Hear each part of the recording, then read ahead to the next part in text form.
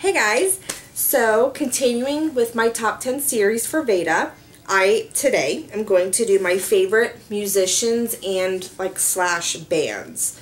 Um, my number one favorite singer of all time, I explained this in my um, songs vi video, is James Taylor. I'm obsessed with James Taylor. I own almost all of his CDs. I've seen him in concert every time he's been to Cincinnati since I was like 15. Um, I love James Taylor. Um, we the Kings, they are my favorite band. Um, I obviously found We the Kings. I'd heard Check Yes Juliet, but I didn't start really getting into them honestly until I, I started YouTube and came across, you know, the CTFxC, the DLV, and the Travis Clark channel. Um, I love We the Kings. I love their music. I love their sound. And come on, them guys are not bad to look at. It is really it's so hard to watch them, right? Because they're so ugly. Whatever. Anyway, um, Kenny Chesney. He is actually the first country concert I ever went to. And I remember being like really nervous, thinking like, I'm not going to fit in here.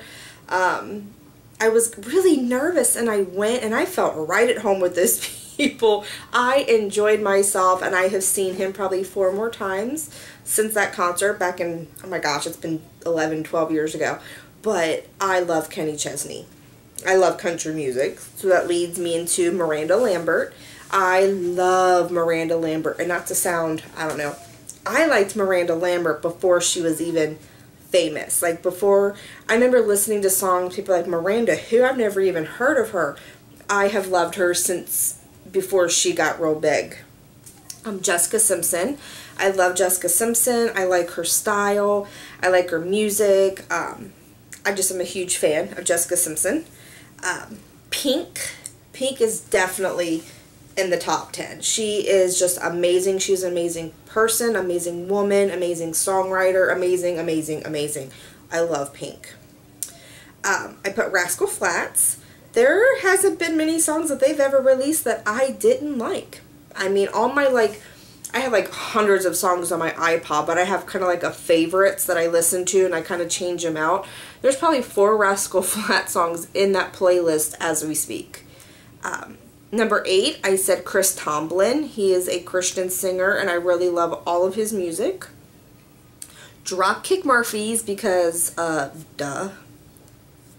Sara Evans. Um, I love her voice. She's one of those singers like you hear her voice and you know that's Sara Evans. Very just distinct. I love her music. I love that her music's so heartfelt and like I don't know, like her song Stronger got me through a really hard time in my life and I just really really love Sara Evans.